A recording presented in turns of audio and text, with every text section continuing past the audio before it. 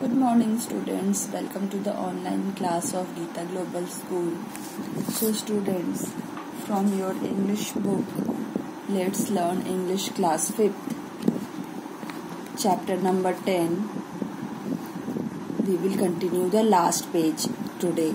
So what we have learned children that if you look at the pouch of any gutka, there is a warning printed on it. That means if you are eating gutka or if you are smoking at the back it is written that it is not good for health or it is injurious to health. That means you are taking risk of your life and you are using all these things.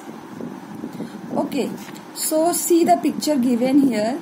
Tobacco uh, causes cancer and smoking is injurious to health. That means you are responsible if you are eating tobacco if you are chewing tobacco if you are smoking because it is already written. Signs are given that it is not good for health. So let's uh, see what happens next.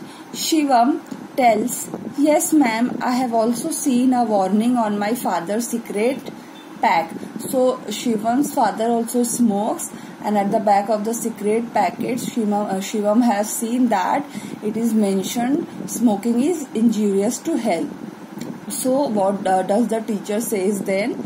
Yes however in spite of warnings people use these harmful things this way they are also following the path of Rinku's father so I have already told you that Rinku's father is no more of uh, with us he has died because of having all this kind of things tobacco gutka or uh, cigarettes so Shivam's father is also following Rinku's father's path which is not good for health at all. So let's see what Seema tells. Ma'am, I will stop chewing gutka. I don't want cancer. I pledge I'll never use it again. So uh, Seema promises that now from now onwards in future she is never going to uh, chew gutka as now she has understood that it is not at all good for health and even it causes can cancer okay teacher and what about others so the teachers ask what about others what the other children will do so what does all the students uh, tell their teacher? Ma'am we too have understood. We pledge never to chew gutka and tobacco again. We will also tell the members of our family and neighbors about the evil effects of chewing gutka and smoking and request them to give up give up these bad habits. So all the children promises their teacher that they are never going to have uh, never going to smoke cigarettes or chew gutka because they have totally understood how bad it is for our health even in their family members relatives or neighbors.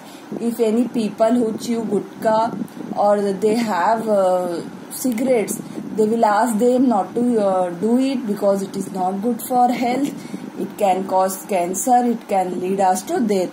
So hope children you will also make aware people in your neighborhood or in your family if anybody is chewing gutka or have uh, or they are smoking and you will tell the ill effects of all these things. Thank you